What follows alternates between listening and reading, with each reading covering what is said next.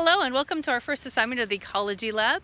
I initially put this unit near the end because I was hoping we'd be able to go outside and do some fun labs and activities outside and that's not really the way it's worked. So now we are inside in isolation, but we're still going to do the ecology unit as best as we can.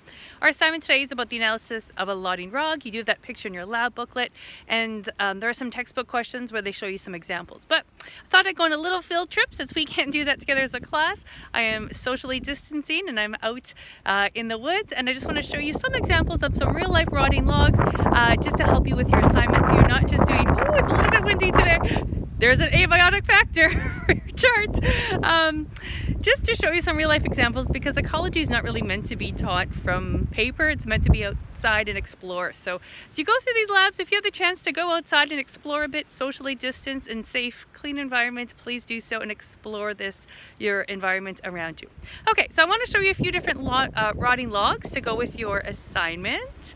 Now, I'll have to switch